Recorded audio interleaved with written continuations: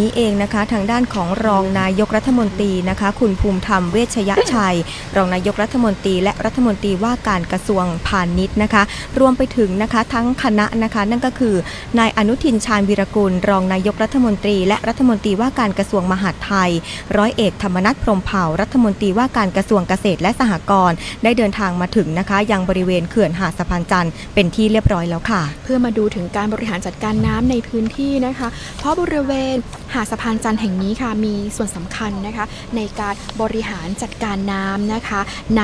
ลุ่มน้ำยมค่ะ เพราะว่าหาดสะพานจันทร์แห่งนี้จะเป็นประตูระบายน้ำผันน้ำลงสู่คลองยมน่าน แม่น้ำยมสายเก่า และก็แม่น้ำยมสายหลักนะคะ ถือเป็นการคอนโทรลน้ำที่สำคัญมาก ๆ ในพื้นที่ก่อนที่จะส่งต่อไปที่อำเภอศรีสำโรงอำเภอเมืองอำเภอบางระกำอำเภอสามงามอำเภอโพธิ์ทะเลของจังหวัดพิจิตรอีกด้วยค่ะใช่แล้วค่ะณจุดนี้เองนะคะ ถือว่าเป็นอีกหนึ่งจุดที่มีความสำคัญนะคะ เมื่อเดินทางมาถึงแล้วก็จะติดตามสถานการณ์น้ำณปัจจุบัน ซึ่งวันนี้เองนะคะ บริเวณมวลน้ำนะคะที่ผ่านมานะคะ ที่อยู่ที่บริเวณเขื่อนหาดสะพานจันทร์นะคะ อยู่ที่ประมาณ 800 ลูกบาศก์เมตรต่อวินาที ซึ่งน้ำเหล่านี้นะคะจะถูกผันออกไป 2 ทิศทางด้วยกันค่ะ นั่นก็คือจะผ่านไปที่ประตูระบายน้ำคลอง 6 นะคะ ประมาณ 200 ลูกบาศก์เมตรต่อวินาที จากนั้นนะคะที่เหลือจะไหลลงสู่แม่น้ำยมนะคะ อีกประมาณ 600 ลูกบาศก์เมตรต่อวินาทีค่ะสถถานการณ์น้ำณวันนี้นะคะ มีแนวโน้มที่ลดลงอย่างต่อเนื่องนะคะ ตอนนี้ค่ะทางด้านของตัวแทนของกรมชลประทานนะคะ ก็ได้รายงานถึงสถานการณ์น้ำในพื้นที่ให้ท่านรองนายกรัฐมนตรีนะคะ ได้ทราบถึงสถานการณ์น้ำในพื้นที่จังหวัดสุโขทัยค่ะนะครับก็ได้เข้าสู่ภาวะปกติต่ำกว่าตลิ่งเรียบร้อยแล้วนะครับ โดยเฉพาะที่อำเภอเมืองระดับน้ำต่ำกว่าตลิ่งประมาณ 1 เมตรกับ 5 เซนนะครับอ่า คลองผันน้ำยมด้านก็เช่นกันนะครับ ปัจจุบันก็น้ำก็ต่ำกว่าตลิ่งนะครับและการให้ความช่วยเหลือโดยเฉพาะกรมกรมชลปรทาน และก็มูลนิธิท่านธรรมนัฐพรมเผ่านะครับ น้ำที่ค้างทุ่งอยู่ปัจจุบันนะครับวิธีการให้ความช่วยเหลือก็ก็คือการเปิดทางน้ำเพื่อระบายน้ำที่ที่ที่ลุ่มต่ำลงสู่ระบบนะครับและนอกจากนี้ก็ยังใช้เครื่องสูบน้ำนะครับ เครื่องสูบน้ำเครื่องผลักดันน้ำตามจุดต่างๆนะครับกรมชลเนี่ยได้ได้ติดตั้งเครื่องสูบน้ำประมาณ 20 เครื่องนะครับ แล้วก็เครื่องปั๊มน้ำท่ออันไหนนักซิ่งนะครับที่มูลนิธิธรรมะปุ่มเผาได้เอามาลงตามจุดต่างๆ ก็ประมาณประมาณประมาณ 6 เครื่องนะครับ นอกจากนี้เราได้เปิดโรงครัวนะครับ เพื่อผลิตถุงยังชีพ แล้วก็แจกจ่ายอาอาหารนะครับ ให้กับพี่น้องประชาชนที่ยังคงได้ได้รับผลกระทบอยู่นะครับ จึงรายงานเพื่อโปรดทราบครับ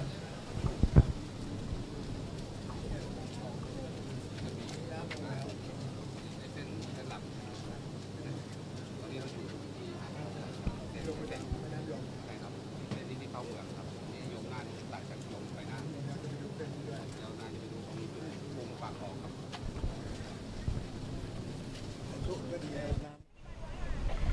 ค่ะ ทางด้านของตัวแทนจากกรมชลประทานนะคะ ก็ได้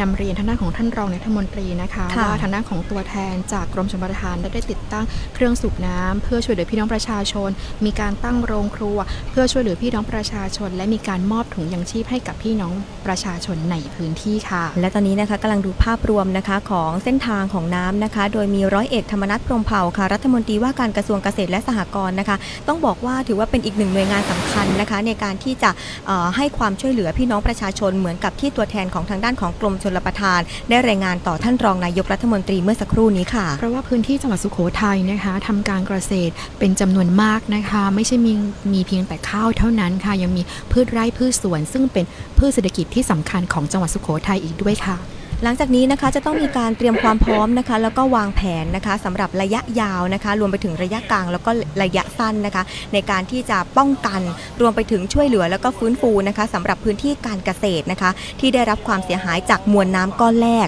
ที่ไหลผ่านจังหวัดสุโขทัยไปเป็นที่เรียบร้อยแล้ว การวางแผนต่อจากนี้ไปจะเป็นอย่างไรนะคะ วันนี้หลากหลายหน่วยงานโดยระดับท่านนายท่านรัฐมนตรีนะคะ หลากหลายหน่วยงานได้มาอยู่รวมกันณจุดนี้ เชื่อเหลือเกินว่าทางออกที่ดีนะคะสำหรับพี่น้องประชาชน พี่น้องเกษตรกรเองนะคะ จะต้องเกิดขึ้นอย่างแน่นอนค่ะ ตอนนี้นะคะทางด้านของท่านรองนายกรัฐมนตรีนะคะ ก็ได้เดินลงไปนะคะ เพื่อที่จะดูสถานการณ์น้ำบริเวณหาดสะพานจันทร์แห่งนี้นะคะ และหาดสะพานจันทร์แห่งนี้ค่ะคุณผู้ชมค่ะได้มีการบริหารจัดการน้ำอย่างเป็นรูปธรรมนะคะ และในช่วงนี้ก็ได้มีการกำจัดเศษวัชพืชต่างๆ บริเวณปากประตู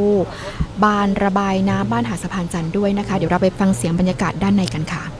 ซึ่งปัจจุบันที่อดีตที่ผ่านมาเนี่ยประตูนี้มันสามารถระบายน้ำได้ประมาณ 1,800 ลูกบาศก์เมตรต่อวินาทีเนี่ยนะครับ แต่ทั้งนี้เนื่องจากที่ตัวอำเภอเมืองมันรับน้ำได้ประมาณ 500 นะครับ การบริหารจัดการก็คือต้องตัดยอดน้ำนะครับไปลงแม่น้ำน่านในอัตราปัจจุบันเนี่ยอัตราประมาณ 500 ลูกบาศก์เมตรต่อวินาทีนะครับ ประตูประตูหาดสะพานจันทร์เราจะจะทำหน้าที่เหมือนกับหน่วงน้ำหน่วงน้ำเพื่อบริหารจัดการจัดจราจรทางน้ำให้ให้ผ่านน้ำเข้าแม่น้ำน่านให้มากที่สุดนะครับ แล้วก็ที่เหลือก็ก็ผ่านตัวเมืองไปนะครับ ที่ผ่านมาก็ที่ปริมาณน้ำที่มันเกินนะครับหกบาทครับ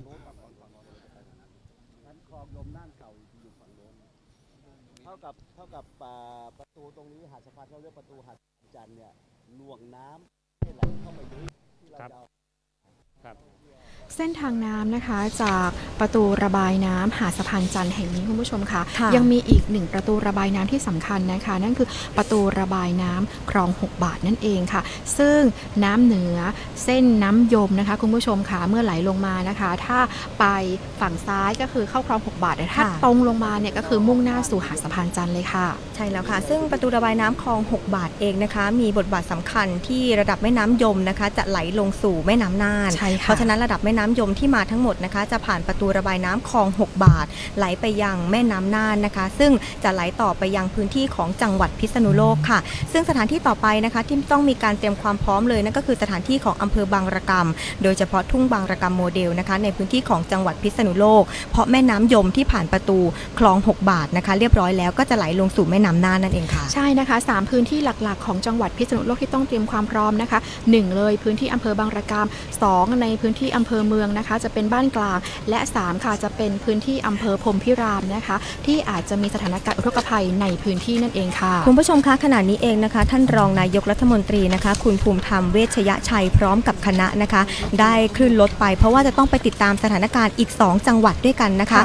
นั่นก็คือในพื้นที่ของจังหวัดนครสวรรค์นะคะ รวมไปถึงพื้นที่ของจังหวัดชัยนาทค่ะ โดยจะเดินทางนะคะผ่านไปยังเขื่อนเจ้าพระยา ที่ตำบลสรรพยาอำเภอสรรพยาจังหวัดชัยนาทโดยเฮลิคอปเตอร์นะคะ ระหว่างเดินทางนะคะก็จะบินตรวจสำรวจเส้นทางน้ำนะคะ แล้วก็พื้นที่การเกษตร แล้วก็บินผ่านบึงบอระเพ็ดจังหวัดนครสวรรค์แม่น้ำน่าน แม่น้ำเจ้าพระยา และเขื่อนเจ้าพยาที่จังหวัดชัยนาทค่ะก่อนที่